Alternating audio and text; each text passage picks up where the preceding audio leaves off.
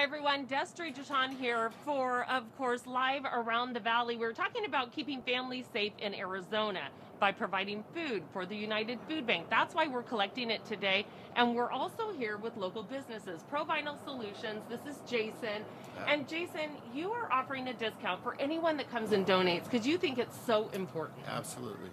Uh, we're going to offer a free consultation for anybody that comes down and donates, and 20% off any one of our installs. Okay, that's huge. That's a big deal. And you Yeah. guys also have something brand new that is also keeping families safe. This is PureZone.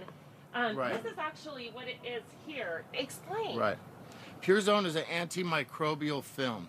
It's silver ion technology. So basically, any bacteria, any uh, coronavirus transfer on any surface that's protected with PureZone will be um, destroyed 99.9%.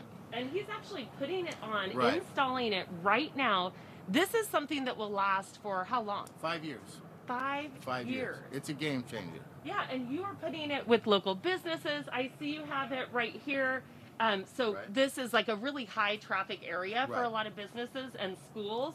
Um, and so this is a really good idea to put it on here. Yeah. Yeah. Yeah, absolutely. You can do a vinyl underneath, some kind of a print if you want to identify the areas that are protected, say in a business, or you can keep it a clear or matte, something that you can't even see. I love it. It's called PureZone, everyone. You see it right here. You can come down, learn more, make a donation to the United Food Bank, and learn more about these local businesses that are also trying to keep you safe today. You can also learn more, everyone, by going online.